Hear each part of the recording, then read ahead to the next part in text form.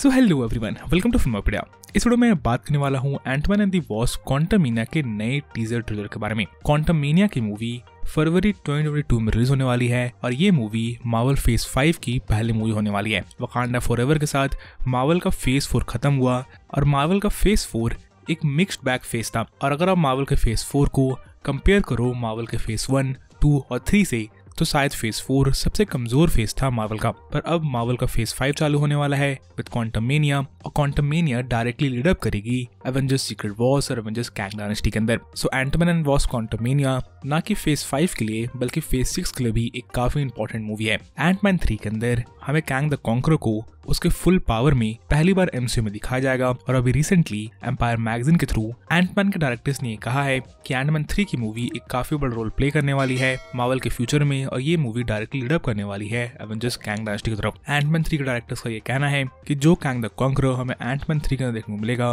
वो Kang the Conqueror काफ़ी different होगा ही हु रिमेन से जिसे की हमें लोकी के सीरीज़ में दिखाया गया था। एंटमैन थ्री के अंदर one of the weakest Avenger Ant-Man को one of the most powerful being in the universe के सामने रखा जाएगा। यानी कि कैंग के सामने। और एंटमैन एंड फैमिली कैसे बेसिकली कैंग द कॉन्कर लड़ती है इस मूवी के अंदर, ये देखने में सारे फैंस को काफ़ी ज़्यादा मज़ा आने वाला है। एंटमैन थ्री का पहला टीजर ऑलरेडी रिलीज़ हो चुका है, दिवाली वाले दिन। और अब ऐसा लगता है कि एंटमैन का एक फाइनल ट्रेलर या ट्रेलर टू आपको काफ़ी जल्दी देखने को मिलने वाला है। एम्पायर मैगजीन की तरफ़ से काफ़ी सारे न्यू इमेजेस एंटमैन थ्री से रिलीज़ हुए हैं, जिसके अंदर हम एंटमैन को और कैंग द कॉन्कर को आमने सामने देख सकते हैं। इसके अलावा काफ़ी सारे फंको पॉप्स भी एंडमैन थ्री से रिलेटेड रिलीज़ हुए हैं, जहाँ पे हमने मॉडर्न करेक्टर के फ़र्स्ट लुक को देखा। इसके अलावा बाकी सारे और करेक्टर्स जो कि इस मूवी में इन्वॉल्व होने वाले हैं, उनके फ़र्स्ट लुक को भी देखा। सो एंटमैन थ्री का फाइनल ट्रेलर और trailer two most probably CCXP के अंदर आ सकता है। सीसीएक्सपी बेसिकली सेकंड से फोर दिसंबर के बीच में होने वाला है। तो उस इवेंट के दौरान आपको एंटमैन थ्री का ट्रेलर देखने को मिल सकता है। उस इवेंट के दौरान सोनी भी अपना एक पैनल प्रेजेंट करने वाली है और सोनी सीसी एक्सपी के दौरान कौन कौन सी मूवीज़ को अनाउंस कर सकती है। इसके ऊपर ऑलरेडी मेरे चैनल पर वीडियो है। आप उस वीडियो को जाकर देख सकते हो। अगर आपको सोनी के स्पाइडरवर्स के बारे में और जानना तो।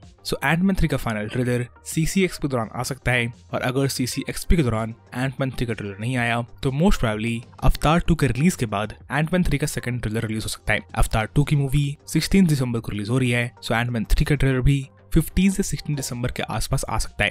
आप एंटमैन की मूवी के लिए कितना एक्साइटेड हो, ये मुझे कमेंट्स में लिख बताना भूले, और आप कैंग द कॉन्कर को एमसीयू में देखने के लिए कितना एक्साइटेड हो फाइनली ये मुझे कमेंट्स में लिख बताना भूले। बाकी इस वीडियो के लिए इतना ही। अगर आपको वीडियो पसंद आई तो वीडियो को लाइक करना ना भूलें, और as always thanks for watching